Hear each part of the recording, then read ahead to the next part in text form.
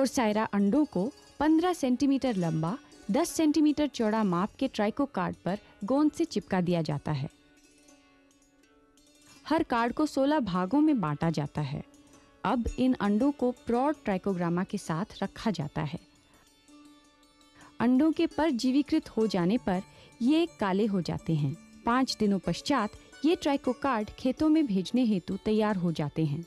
अगर इन कार्डों को दूर जगहों पर भेजना हो तो इन्हें तीन दिनों बाद ही भेजा जाता है जिन थैलियों में कार्ड भेजे जाते हैं, उनमें शहद की लकीर लगाई जाती है या शहद में डुबोई गई रुई पोषण हेतु रखी जाती हैं।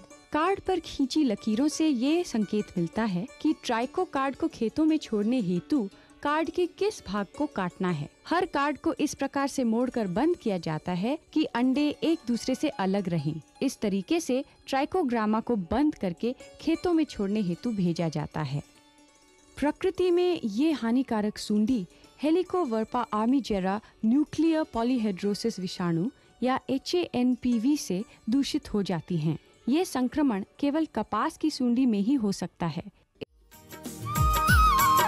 स्वस्थ समर्थ बने किसान। किसान का